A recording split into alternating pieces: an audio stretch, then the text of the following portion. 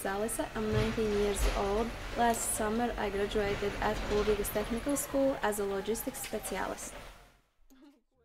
I applied to Erasmus Plus project and my school offered me to come to Germany and I agreed because I think it's excellent to get new experience in my profession and see new country and explore new experiences.